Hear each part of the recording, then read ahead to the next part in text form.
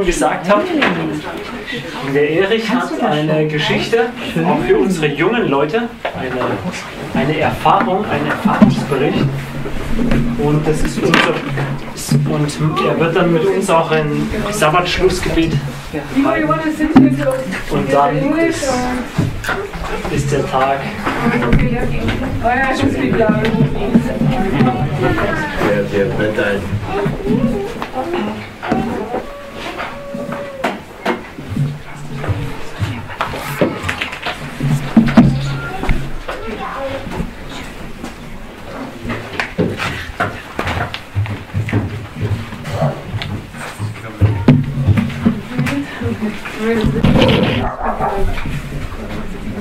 Also eine Geschichte erzählen soll ich. Eigentlich haben wir schon sehr viel gehört in der letzten Zeit und äh, kann man sagen, sehr viel Theorie gehört. Und ich möchte etwas erzählen von der praktischen Seite, was ich persönlich erlebt habe, respektive meine Freunde aus der Gemeinde. Ihr weißt vielleicht alle, dass wir aus der ehemaligen Tschechoslowakei gekommen sind nach Deutschland, heute schon vor 33 Jahren. uh, 32 years ago. Und natürlich war das nicht so einfach. Ja. Waren wir zwar Heimkehrer, aber ob wir uns gefühlt haben hier wie zu Hause, das ist wieder ein, eine andere Frage. In der Tschechoslowakei, als wir dort lebten, dann äh, war der Kommunismus dort und äh, das war, kann man sagen, kein Platz für Religion und äh, da war Druck und kein Pardon, kann man so sagen. Pressure and no pardon. Und wie in jedem Lande, wo äh, nicht die ganze Freiheit ist, müssen alle. Bürger, Junge zum Militär gehen. Das heißt Pflichtdienst machen. Und bei uns war das, waren das zwei Jahre volle. Und wenn du gehst zum Militär, natürlich, wir müssten nicht die Waffe benutzen, weil äh, kein Krieg war. Aber natürlich für uns war ein Problem und das war Sabbat. Weil dienen kann man da, kann man das irgendwie schon machen mit Gewissen, aber wenn kommt dann der siebte Tag But und wir müssten mit den allen Soldaten dann in vollen Einsatz sein, dann war das sehr, sehr schwierig. Und viele unserer jungen Leute äh, landen in Gefängnissen, waren äh, gefoltert, geschlagen, äh, alles Mögliche war mit denen gemacht, da kann ich sehr, sehr lang erzählen alles. Und in solcher Atmosphäre äh, bin ich auch zum Bund gezogen, zum Militär. Also. Und äh, natürlich, jetzt will ich überspringen, ganz großen Teil von der Geschichte. Als ich noch aber im Zivil war zu Hause, dann mein Vater hat mir gesagt, dass ich soll mir für die Zeit vorbereiten, dass ich soll äh, unter Roten Kreuz verschiedene äh, Schulungen machen, Kurse, dass ich als Sanitäter schon geschult bin aus zivilem Leben. Und da habe ich schon Ausbildung gehabt, mit äh, auch äh, im Krankenhaus äh, Praktiken gemacht dabei. Da haben alle die Ältere gewundert sich, dass, dass ich so ein Junger mache solche Sachen. Aber ich wusste, warum ich das mache. Und dann äh, wenn waren wir schon dort äh, zwei Monate. Dazwischen war ich den großen Teil im Krankenhaus, aber das springe ich rüber. Und dann äh, ist die Zeit gekommen, wo ich äh, schon in der Lage war, ich musste jetzt raus und konkret sprechen. Und da bin ich zum Arzt gegangen in unsere Kompanie, da waren wir ungefähr 130 Leute und habe ich ihm mein Problem vorgestellt, da habe ich gesagt, ob der nicht einen Helfer braucht. Habe ich ihm meine Zeugnisse asked gezeigt. Normalerweise haben das gemacht die Unteroffiziere. Die haben Ausbildung gehabt und äh, ganze, ganze Vorbereitung dafür. Aber ich habe nichts gehabt, ich war ganz normaler Soldat. Und soldier. Doktor war ganz netter Mann, hat gesagt, er wird sprechen mit der Führung. Und nächsten Tag, morgen, natürlich, ich habe ganze Zeit gebetet, dass mir Gott hilft, dass ich was machen kann. Und einmal ist er zu mir in der Früh gekommen und hat gesagt, Sie kommen zu mir in Station und sie werden bei mir arbeiten. Da war ich sehr glücklich, weil äh, das war nicht normal. Sowas. Und äh, jetzt aber, als ich da gearbeitet habe, und das war Hauptproblem, war Essen auch. Das war Problem also food. Dann warst du praktisch nur ganze Zeit am Wasser und Brot. Weil da war nichts zu essen. Und da musstest du dich verstecken mit dem, dass du das nicht isst alles, sonst war das Sabotage. Du wirst krank sein und ins Zivil gehen. Ja? They dish up, then, then yeah, Und meine Hauptaufgabe They dazwischen war, jeden Tag in der Küche die Ess alle Nahrungen nehmen, ein Glas geben und äh, äh, bewahren bis nächsten Tag. Wenn vielleicht passiert etwas, irgendwelche, äh, was sagt man, Krankungen, ja, ja, so. Infektion oder sowas, dann muss man, haben die alle Ernährungen hier da zur Kontrolle und prüfen, von wo das kommt. Und dadurch habe ich die Möglichkeit in die Küche gehen und da mit dem Kopf und in so konnte ich äh, auch was essen, was mir passte, was ich gegessen habe. Und dann haben wir Befehl bekommen, wir gehen in anderen ganz äh, ähm, Division, fremde Division, da arbeiten. Meine Soldaten, das waren Soldaten, sogenannte nicht zuverlässige, weil wir politisch nicht Also his gepasst haben. Da waren religiöse Leute, da with the waren äh, mit deutscher Herkunft und, und, und Verbrecher verschiedene und so weiter. Und die zuverlässigen Soldaten, die haben rote hier Klappen. Und wir haben schwarze gehabt. Natürlich zwischen uns war immer Spannung, weil das waren die Marmeladensoldaten mit den roten und wir waren die schwarzen like Barone. Naja, okay, und jetzt haben wir gehört, wir ziehen um in fremde Division. Und das war immer Problem, weil da wussten wir nicht, was uns wartet. Und dann ist von der fremden Division zu uns gekommen ein Offizier. Der hat zwei Sterne gehabt. Also Soldaten, was bedeutet das in Deutschland? Zwei Sterne. Kennt ihr nicht? Nee, General ist zu, zu weit. Also, ein Offizier. Vier Sterne ist Kapitän dann. Also der hat zwei gehabt. Und der ist für, zu uns gekommen, den ganzen Umzug unserer Kompanie leiten, bis wir dorthin kommen. Gerade an dem Tag, Soldaten haben, unsere Soldaten, weil die haben gearbeitet, das waren Arbeitssoldaten, Schaufel und Picke. So Das war Haupt, äh, unsere. Waffe. Und die schweren Arbeiten und so weiter, das mussten wir machen mit den schwarzen Klappen. thing. Und gerade had dem Tag. Soldaten aus einem Wald beim Graben haben die eine, äh, eine Schlange gebracht. Schlange, große Schlange, das a war snake. Kreuz, wie nennt man das? Otter? In eine Gurkenflasche, so 5 Liter, haben die gebracht. so they put it in like a, a glass. Und, aber ich kannte mich aus mit Schlangen, zufällig, weil mein Kollege, ja, der hat gezüchtet zu Hause because his und von denen hat er jeden Tag abgenommen äh, den, den Gift ja, und verkauft auf die, auf die Pharmazie. Und da hat er mehrere Terrarien gehabt zu Hause im Keller. Und jeden Tag hat er das abgenommen. Und der hat mir alles gezeigt, wie muss man mit den äh, Schlangen umgehen und ich konnte das ganz gut. Das machen.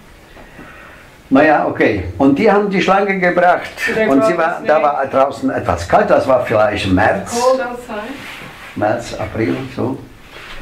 Und äh, die habe ich das gesehen, da habe ich die Flasche genommen und zum Ofen gegeben im Zimmer, da war warm. Da hat sich stehen gelassen und habe ich gesehen, die Schlange ist schon langsam, ist warm und schon zeigt die Zunge, ah, sie ist schon lebendig. Und jetzt habe ich den Soldaten Vortrag gemacht, wie macht man das mit der Schlange? Rausgeschüttelt auf Boden, habe ich so eine kurze Route gehabt, ein Lappen, das war, wir haben statt die Socken haben wir solche Fußlappen gehabt. Also Ja. socks, wickelt man rein und in die Stiefel gesteckt. Also so einen Lappen habe ich gehabt und habe ich zuerst auf die Schlange attackiert und die hat ein paar Mal geschlagen, gebissen da rein, dann der Gift war weg. Ja.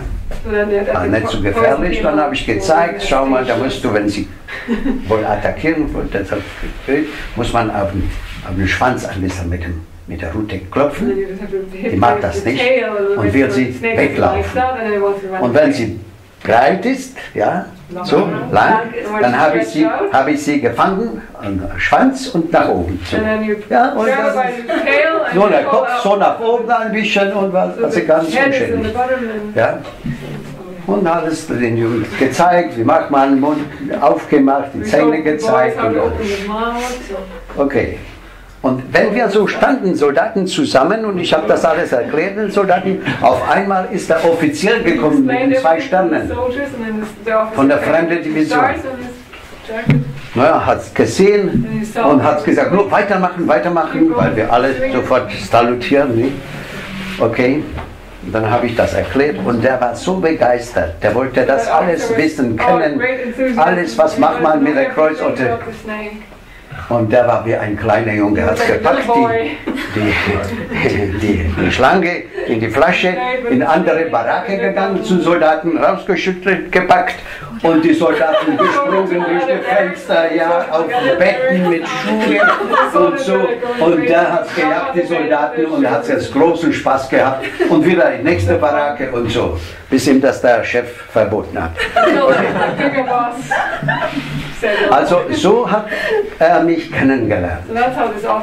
Nur, dass ich ihm die Schlange gezeigt habe.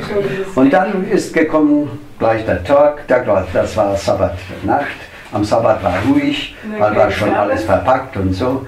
Da haben wir frei gehabt, das war für mich sehr gut. Und dann in der Nacht sind wir gefahren in der Nähe zur Karlsbad. Kennt ihr Karlsbad in, in, Prag, in Tschechien? Karlsbad, berühmte Carlsbad Stadt. Gut, in der Nacht sind wir gefahren, weil am Tag, äh, die Soldaten haben das nicht gemacht, so einen Transport, weil Zivilleute müssten nicht wissen, dass die Soldaten umziehen. Weil So they did durch die Grenze im Westen, in Deutschland, die, die, die, uh, unsere Feinde dürfen das nicht wissen. Ja. Okay. Und jetzt kamen wir in der Nacht in ein fremden Lager. Das war aber ein ganz besonderes Lager. Die Zäune waren sehr hoch und noch so oben nach innen, die Stacheldraht. Auf Boden so drei Meter vom Zaun war Stacheldraht so zickzack so hoch, so dass du überhaupt den Zaun nicht kommen kannst. Große, äh, große so ein, äh, so ein äh? Turm, ja, mit, mit lampengroßen. Original KZ-Lager. Wir haben geguckt, wir haben Angst bekommen, wenn wir da in der Nacht gekommen sind. Aber dann hat sich gezeigt, das war ein Speziallager, das kennt ihr aus von Filmen, so, dass Soldaten, die nicht gehorchen, For soldiers that don't da sind die in solche Ausbildungslager geschickt. Und dort hat man die Persönlichkeit den, den Jungs gebrochen. Personality. Wir haben so, so schwer alles dort gehabt, dass, aber das war damals in der Tschechoslowakei auch. Aber von UNO, Welt, war das irgendwie durchgesetzt und das war verboten. Und die haben das gelöst und wir haben den Lager bekommen zur Verfügung. Ja. Also die Atmosphäre war nicht gut, aber war das praktisch für uns normale Lager dann. Ja, aber in der Nacht haben wir gleich bekommen, dass in diesem Lager von dieser fremden äh, Division waren da drin äh, 25 Soldaten, die alle die Hauptposten gehalten haben. So there were 25 soldiers that Mit meiner Kompanie ist gekommen mein Arzt, der Unteroffizier, der Sanitäter und ich. Jetzt gleich in der Nacht haben die, wir bekommen Nachricht, dort ist schon ein Arzt. Ein Unteroffizier. Unser Arzt ist gleich mit den LKWs zurückgefahren in der Nacht, den braucht man nicht. Der Unteroffizier musste dorthin auf die und ich war natürlich überflüssig. Zurück zur Mannschaft. Und das heißt gleich am Montag Picke, Schaufel und Everybody arbeiten. Das heißt, kommt Sabbat, ich gehe nicht arbeiten. und das ist mein Ende, weil dann gehe ich äh, vor Gericht und dann landet man meistens in Urangruben, äh, Gefängnis für längere Zeit. Normal war immer so eineinhalb Jahre äh, erste Strafe. Dann kommst du zurück nach Hause, nach äh, die Zeit aus Gefängnis und bist du zu Hause 14 Tage und äh, nach 14 Tagen musst du wieder zum Militär und dann geht es wieder neu, von neu alles, dann kommt Sabbat und gehst du wieder in Gefängnis.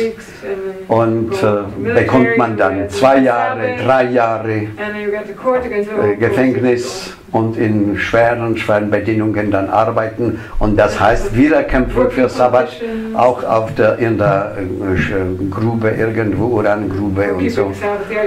Und äh, so lange bis du 30 bist. Wenn du 30 warst, dann musst du schon nicht mehr zum Militär. And when you're over 30, Und so war das, dass manche Jungs zehn Jahre in Gefängnissen waren und sehr for 10 years. gefoltert. Äh, Da kann ich die Story erzählen, wie das war, was die alles erlebt haben, erzählt haben, wie die äh, direkt äh, dort kaputt gemacht haben, die Leute.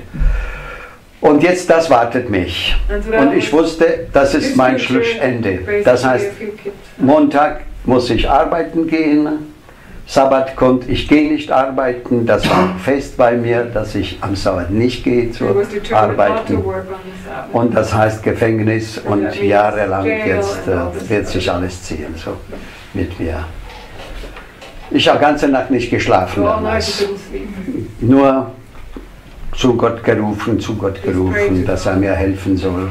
Das war, das war kein Ausweg. Da bist du in so einem Lager zwischen den Soldaten, du bist nicht irgendwelche Person, du bist Nummer. Ja.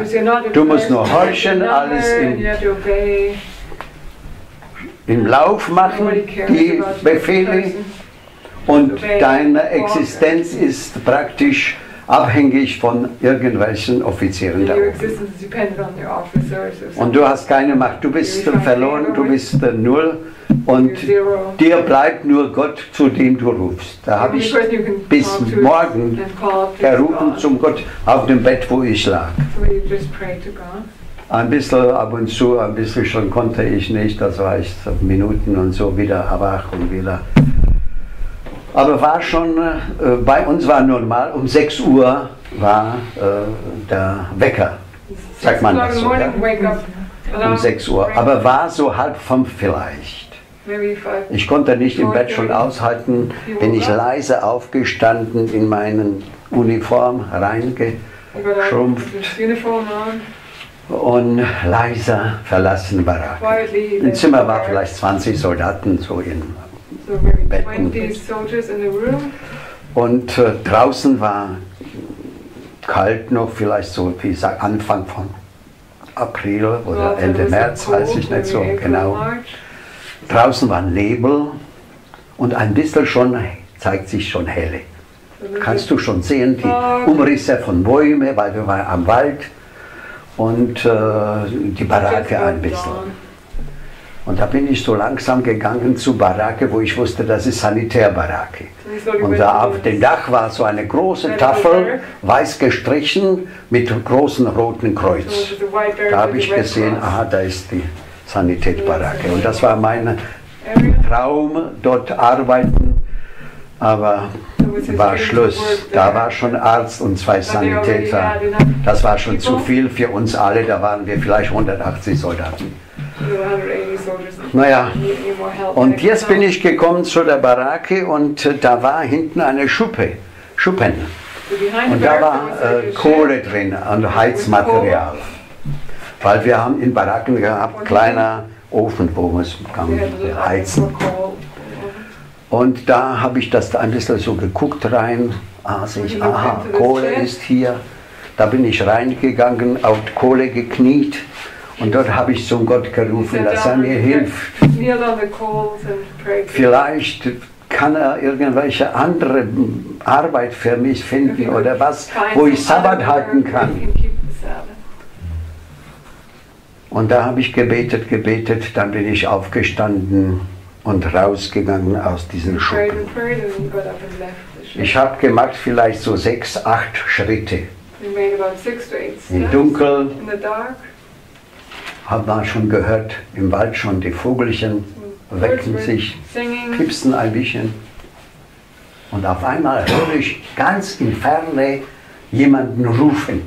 Suddenly he heard someone Na, alle schlafen und jemand ruft, weit weg. Ich bin stehen geblieben, höre ich zu. Und da höre ich wieder, ruft er. Und dann spitze ich die Ohr und war das immer etwas lauter. Became, became louder louder. Da habe ich gemerkt, die Stimme bewegt sich zu mir, die Richtung.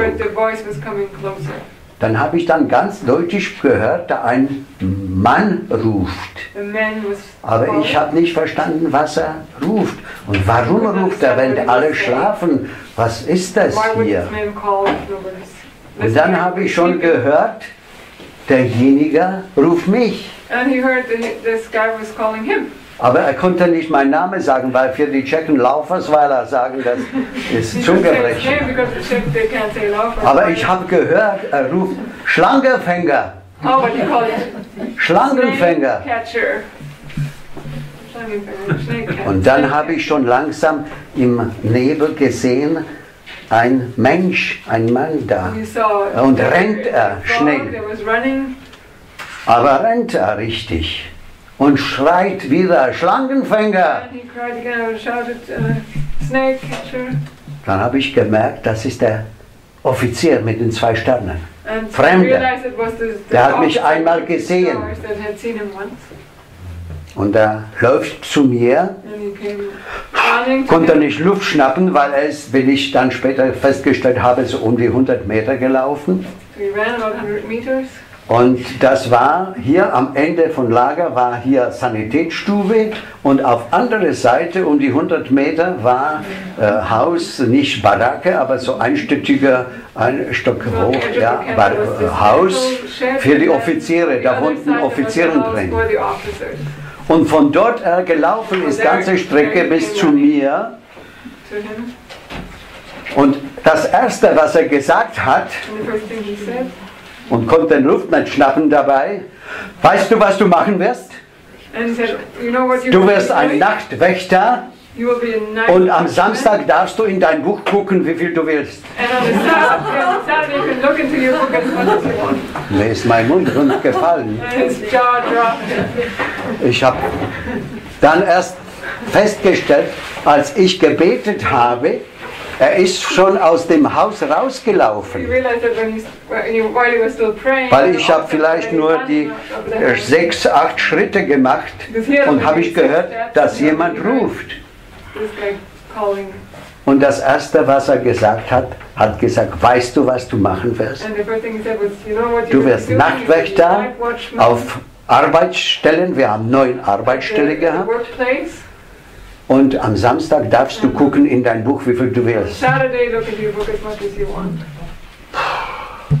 Ich habe gesagt, von wo wissen Sie das? Und er hat mir gesagt, ja, wir Offiziere, wir haben gleich in der Nacht noch äh, äh, Sitzung gehabt und verteilt alles, was wir, was jeder machen soll. Und da war natürlich die Rede, da haben wir einen Adventist und der am Samstag nicht will nicht arbeiten.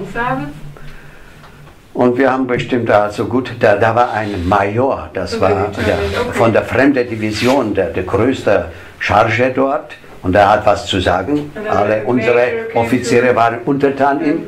Und er hat gesagt, er wird machen einen, einen Nachtwächter. Natürlich, weil wir mit, mit schwarzen äh, Klappen waren. Wir haben keine, äh, keine, keine Gewehre gehabt, uh, keine, have Pistolen, nichts, weil wir waren unzuverlässig. Wir haben Picke gehabt und Schaufel. Weapons.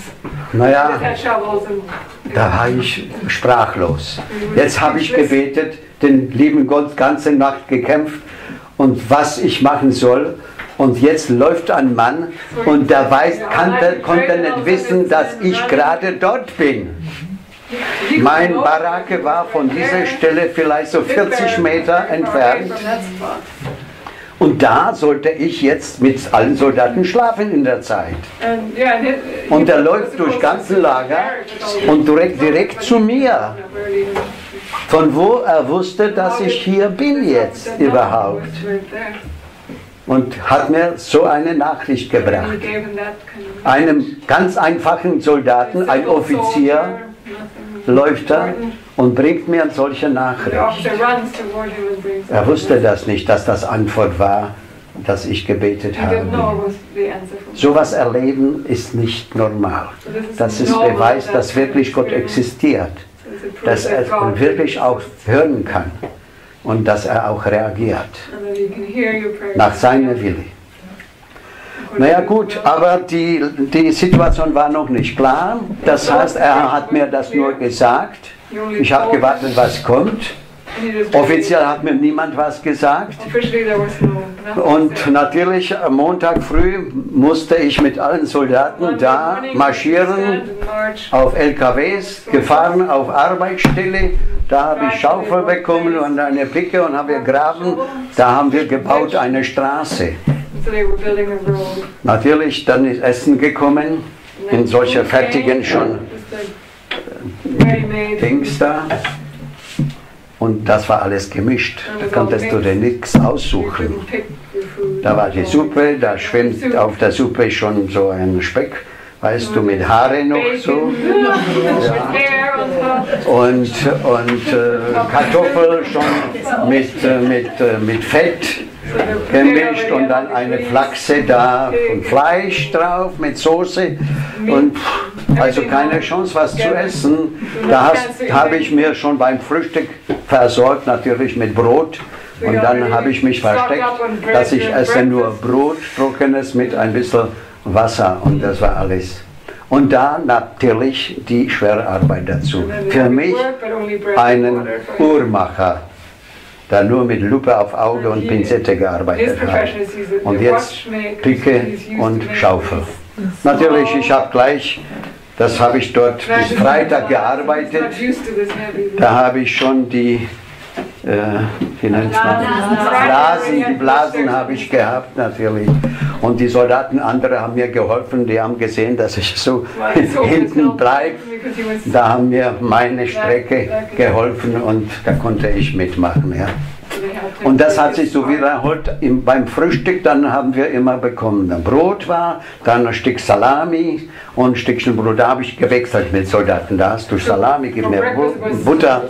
Ja, und das war alles. Und in Taschen gesteckt Brot und dann wieder arbeiten. Und das war mein Hauptproblem. Essen bei Militär in so einem Lager. Und wirst du jetzt äh, nicht essen, alles was die alle essen, das ist großes Problem. Das kann man sich schlecht vorstellen. Und dann am äh, vierten Tag war das, war Abend, äh, als wir wieder zurückkamen in Kaserne, äh, dann äh, wollte ich auch was essen. Da bin ich in die Küche, ge äh, in den Essraum gegangen. Die größte Baracke, das war praktisch Ess, großer Essraum und äh, ein Viertelteil war die Küche. Dann riesengroße Fenster. Und dann gehst du natürlich in eine Schlange da von einem Fenster zum anderen, so wie hier, aber nur größer. Und da guckst du die Suppe. Aha, da ist der, der, der Speckganze und das alles, das will ich nicht. Da gehe ich weiter. Aha, das sind Kartoffeln, die sind sauber, da ist kein Fett, nichts. Dann hat mir ja, gegeben Kartoffeln, trockene kann man sagen. Ja, da gehst du weiter, da wird dir das gießen mit irgendwelcher Soße, dann willst du das nicht, da guckst du, die Flachse da ist, die willst du auch nicht. Nur, dann bleibt dir am Ende vielleicht Kompott, das waren drei Zwetschgen oder ein bisschen Chalamade, das ist so ein sauer äh, Kraut oder sowas, ja. Und das war ganzes Essen. Aber damals. Abend bin ich gekommen, wollte ich was essen, habe ich geguckt, was gibt's Gutes. Und das war äh, Linse Oh, mit. And, Das ist so ein Wurst so in, in der Linse. Naja, das war nichts für mich. Da habe ich mir genommen schwarze Kaffee, das war aber Getreidekaffee. Took Aber wir haben das genannt Diesel. grain coffee. But they called it diesel. Das war Diesel, weil die Kessel, die waren nicht gut gewaschen. Und der Fett war da und auf dem schwarzen Kaffee war so eine äh, of farbige, Ölschicht. so, Diesel. so ein Regenbogen. Ja. Na, deswegen Soldaten haben das genannt Diesel. Ja. Ja, dann habe ich mir den Diesel genommen und trockenes Brot war dabei nichts dazu. Brot war immer. Und bin ich gegangen in den Teil äh, von, von äh, Essraum, großen, wo nicht Licht war, Abend. Nur hier war Licht, weil die Soldaten sind zu wenig gekommen zum Essen und so und immer langsam. Da bin ich da nach hinten gegangen, dass mir die anderen nicht sehen, dass ich nicht alles esse. Da musste ich alles immer aufpassen und nicht zeigen, dass ich das nicht esse, was die alle anderen essen. Weil not meine Pflicht war, sich gut ernähren. Naja. Da sitze ich mir dort und esse ich mein trockenes Brot und Diesel dazu.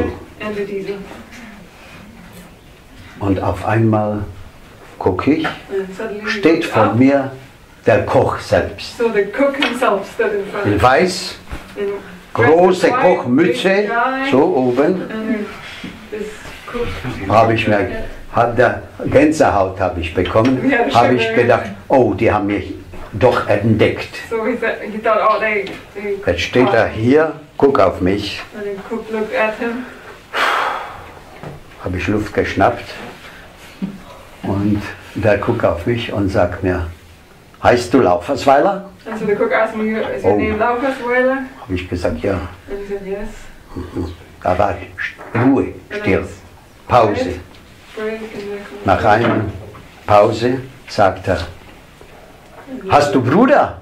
Pause. Oh, das war interessant. Habe ich gesagt, ja, zwei. War dein Bruder beim Militär in Karlsbad? So was your brother at the military in Carlsbad, the cook asked? Habe ich gesagt, ja, war And der. he said, yes. Mhm. Du bist Adventist? You were Adventist? the cook asked. Habe ich gesagt, ja. And he said, yes. Da war der Chefkoch. And he was a, Hat mir gesagt, du bist Adventist? you were Adventist as well, he said. Ich bin auch Adventist. Ich bin der Chefkoch hier. Ah, Ich heiße Pavel.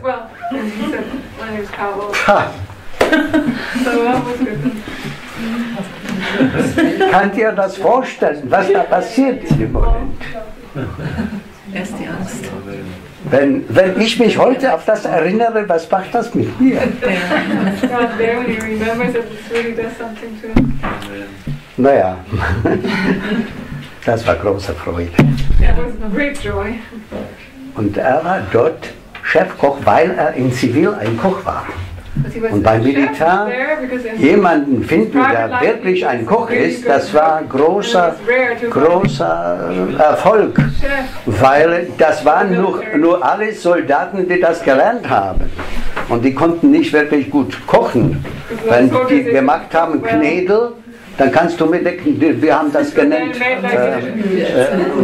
äh, wie, nennt man die? Wie, wie Granate, wenn du schlägst, das explodiert. Ja.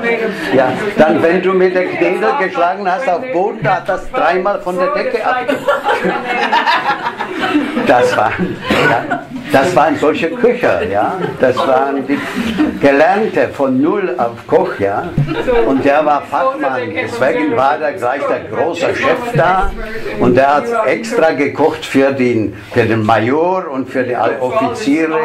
Die haben nicht gegessen, das wir, der hat extra für die gemacht und der, der war gut, gute Position hat er dort, ja. Hat er noch äh, seine Vertreter doch auch dort, das heißt, er konnte auch Sabbatruhe haben. Also Am Freitag habe ich bekommen nur eine Stelle ganz fern von Kaserne, alleine zwischen schönen Lagen, da waren Wiesen, da waren Teiche. Und dazwischen hat man gebaut die Straße, da war eine, seine Bude, Holzbude, da war ein Bett und ein Schränkchen, das war mein, meine zukünftige Stelle. Da war ich als ein Nachtwächter, hauptsächlich Nachmittag, wenn alle Soldaten weg waren, dass die Zivilleute haben gesehen, da bewegt sich jemand, das ist ein Soldat oder sowas. Aha, das sind Soldaten, da hat jemand konnte sich äh, trauen, klauen gehen etwas. Weil bei mir bei der Bude waren Holz und, und, äh, und Werkzeuge und die geodätische, geodätische äh, Geräte zu messen, ja und so. Und weit weg, vielleicht 100, 200 Meter weiter, waren wieder Kompressoren und solche Maschinen und solche 200 Dinge, Zement und so. Und dann habe ich mir gesagt, äh, der, der Meister, das war ein Zivilist dort, der hat mir das Fahrrad gelassen und ich bin immer gependelt am Abend, äh, geguckt, ob alles in Ordnung ist. Ich habe auch kein Telefon gehabt. Ich war so ein wie in, in, in ähm, Kraut, stellst du da einen Schrecken. Das war ich dort. Ja. Aber ähm, hauptsächlich war jemand dort, das war die, die Philosophie da. Ja. Deswegen habe ich mir gedacht, wenn, äh, wenn ich hier bin, da klauen die auf der anderen Ende. Wenn ich dort bin, die können hier klauen. Abend in die Bude gegangen, geschlafen bis morgen und das war alles, was ich da machen musste. Und der Koch, der Pavel, Faraga hieß der, Pavel Faraga, der hat mir extra gekocht. Jeden Tag. In extra Gefäßen geschickt. Ja, das ist für den Wächter da, die neuen äh, Stelle da. Und da hatten immer Soldaten haben bekommen das normales Essen und ich habe mein Aufgabe. Fantastico drin. Und der hat gesagt, mir macht das so Freude, dir kochen, weißt du. Kannst du dir nicht vorstellen.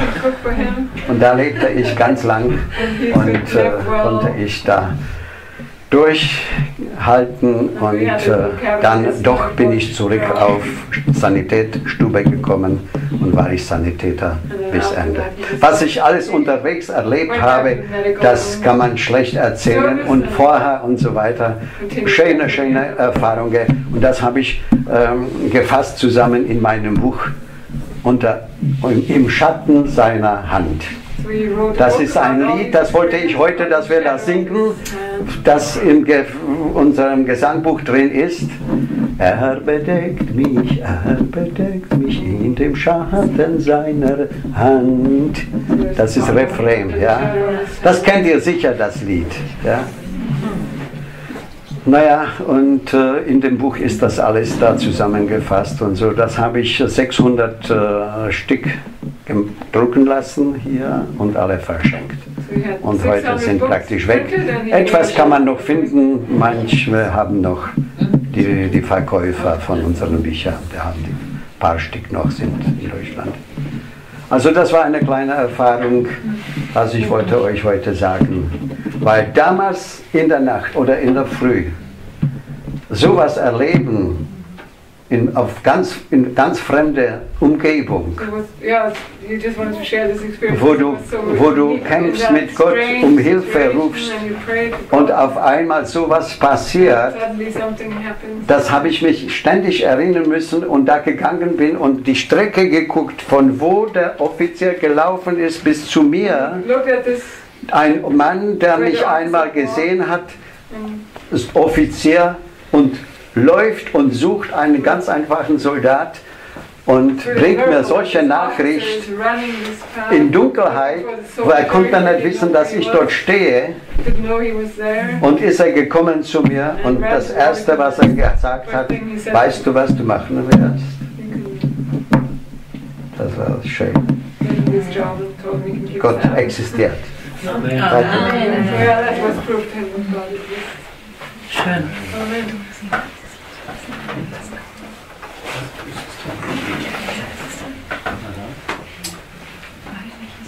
Du bittest. Ja, du hast gesagt, ich soll beten, aber ich will, dass unser, unser Lehrer betet mit uns. Das Lied steht im internationalen Gesangbuch? Das weiß ich nicht, aber in dem 300 steht drin. 300, wie viel? 300, und was war das? 48 oder 384 ist das. 84, 84, 384. Lass uns das noch singen. Ja, bitte, wenn wir das Danach- will. Ich das zum Abschluss unser äh, Adrian äh, mit uns beten, weil das ist Schluss jetzt.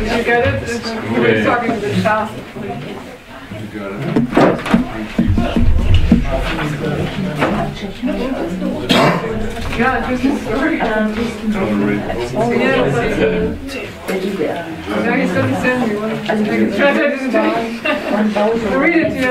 Ja, wenn wir haben hier Brüder aus Australien, da will ich einen, einen Soldat erwähnen.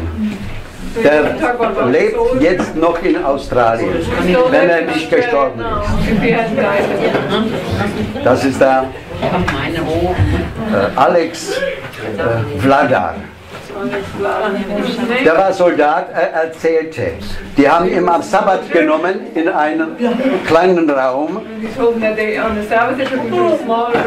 wenn er als Gefangener war, als im Gefängnis war, Ich denke, ich kann das doch sowieso nicht lesen. in eine Urangrube Dort war er als Gefangener und er wollte am Sabbat nicht arbeiten. Die haben ihn genommen in einen kleinen Raum. Drei- äh, Wächter, die haben ihn geschlagen dort. Dann haben die ihm Gasmaske auf on Kopf a gezogen mit so einem Schlauch und dann haben die ihm die Luft zugemacht hose. und wieder aufgemacht. Wirst du arbeiten am Sabbat? Nein. Zugemacht. Und so haben die ihn ma- malträtiert, oder wie sagt man das? malträtiert. Malträtiert. Bis er umgekippt, dann einmal mit kaltem Wasser drauf und wieder von Anfang. Bis haben die ihm auch Gehirn beschädigt. Und äh, das hat er erzählt mir und in diesem Buch habe ich da über 70 Soldaten, die so in Gefängnissen da waren und so. Was die mit den oder mussten, mussten Soldaten unsere drei Adventisten auf Dach von Gefängnis stehen. Im Winter war so 10, 15 Minus. In, in Gummistiefel haben die nur äh, Zeitung gehabt, ohne Handschuhe, ohne Mütze, stundenlang stehen im Frost. Und die haben gefragt, ob die werden am Sabbat arbeiten. Und da erzählt mir der eine, mir war das egal, ob ich sterbe oder nicht. Und so, was die alles mit denen gemacht haben, sind alles da in dem Buch drin. Also in Australien habt ihr da einen Soldaten. In Australien haben die einen Soldaten. So one. das nicht.